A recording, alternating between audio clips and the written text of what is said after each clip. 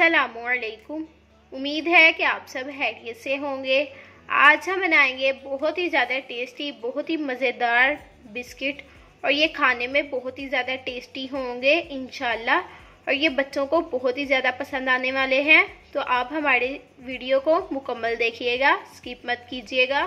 तो अगर आप हमारे चैनल सीक्रेट रेसिपी ऑफिशियल पर नए हैं तो इसको सब्सक्राइब करें ताकि हमारी हर न्यू आने वाली वीडियो आप तक इजीली पहुँच सके।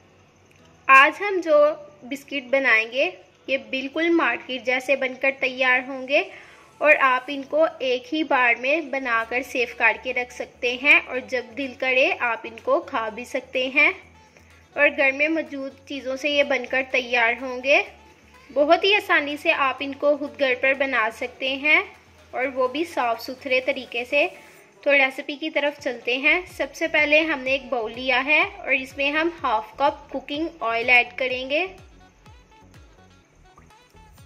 और half cup powder sugar add करेंगे।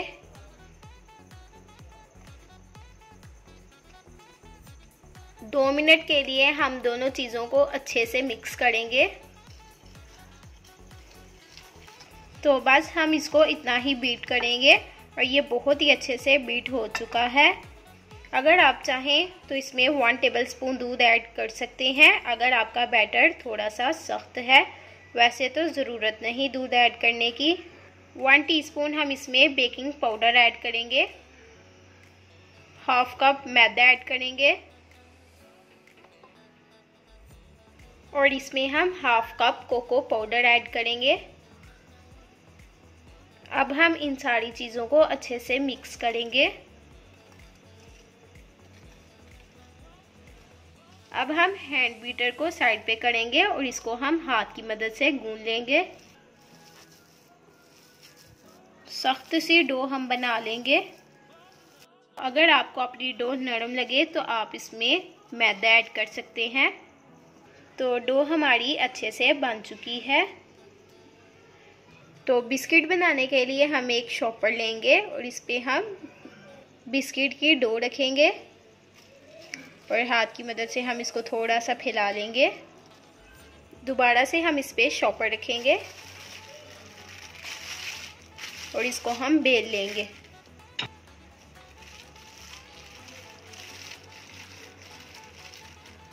तो बस हम इसको इतना ही बेलेंगे।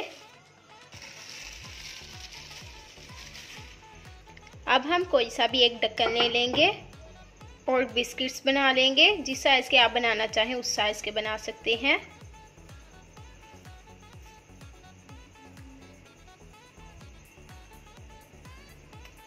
देखिए कितने अच्छे से बिस्किट हमारे बन चुके हैं।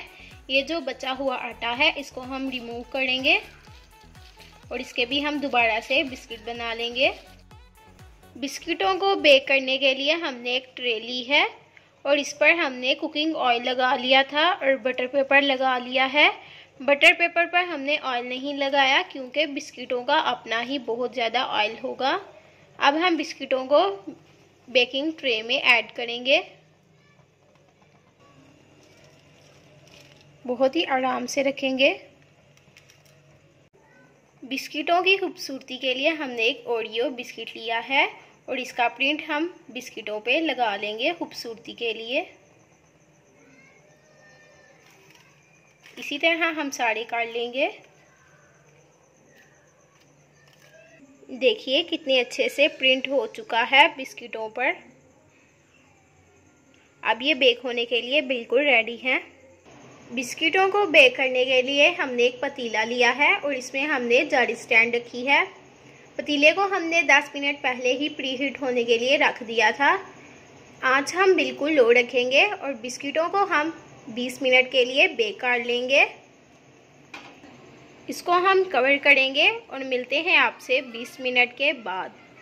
बिस्किट हमारे बेक हो चुके हैं। अब हम इनको बाहर निकाल लेंगे।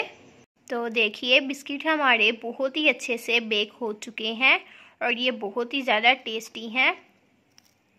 देखा आपने कितनी आसानी से बिस्किट हमारे टूट चुके हैं। अब हम इन पर क्रीम लगा लेंगे। अब हम एक बिस्किट का पीस लेंगे और इस पर हम विपिंग क्रीम लगा लेंगे। अब हम दूसरे पीस को पकड़ेंगे और इसके साथ अटैच करेंगे। तो देखिए कितने अच्छे से ओरियो बिस्किट हमारा बन चुका है।